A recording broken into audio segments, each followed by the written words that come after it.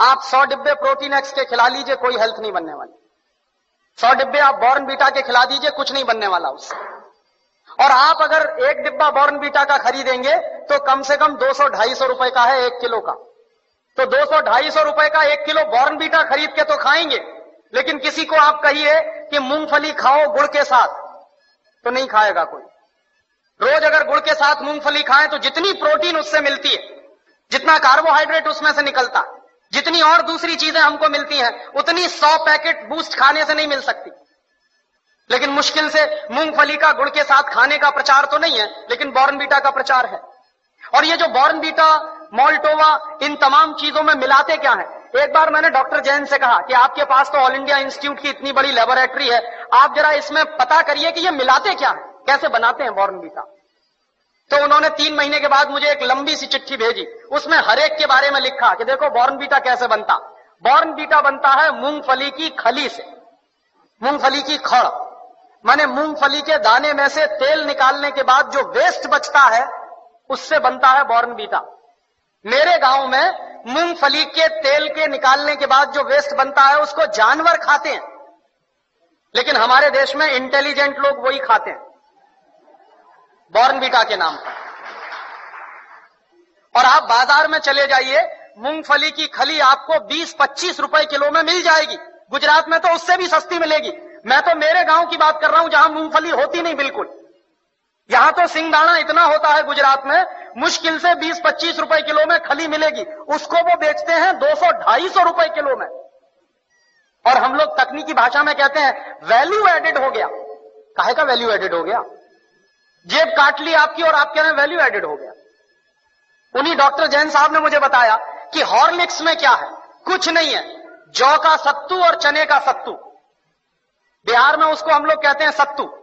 अंग्रेज़ी में कहते हैं हॉर्लिक्स अब किसी से आप पूछिए कि सत्तू खाओगे? कहेगा, क्या फालतू की बात कर रहे हैं आप? और पूछिए हॉर्लिक्स खाओगे? हाँ हाँ खाएँगे।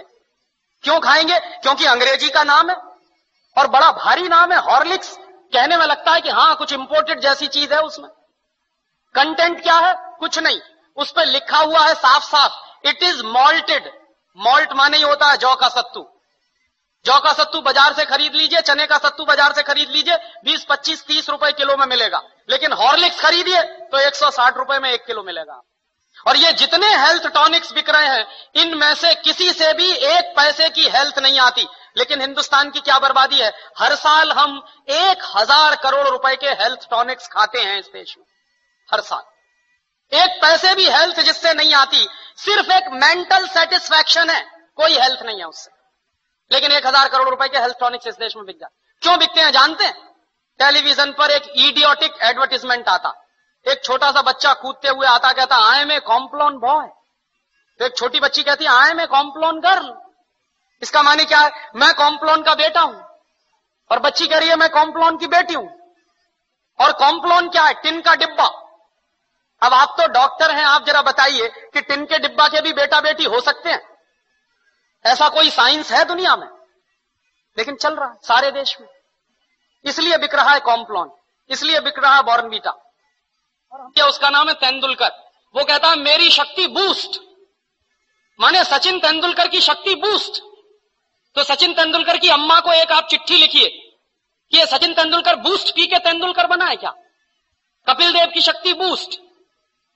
कोई भी खिलाड़ी बूस्ट खा के खिलाड़ी नहीं बन सकता। एक सबसे ज़्यादा महँगा खिलाड़ी माना जाता है टेनिस का। उसका नाम है बोरिस बेकर। सबसे ज़्यादा ताकतवर भी है।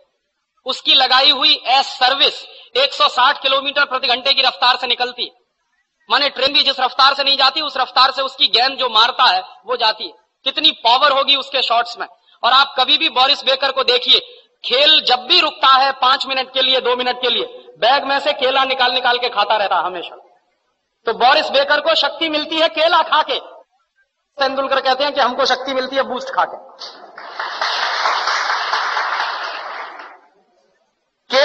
जितनी शक्ति है, दुनिया के किसी भी हेल्थ टॉनिक में हो नहीं सकती। लेकिन दुर्भाग्य क्या है कि इन चीज़ों का प्रचार इस देश की जनता में ना के बराबर है। और इस देश की जनता जो है, एक अजीब तरह की पैसिमिज्म में ज़िंदा है। कैसे ज़िंदा है? साहब, शहर में बूस्ट खिलाते हैं तो गाँव के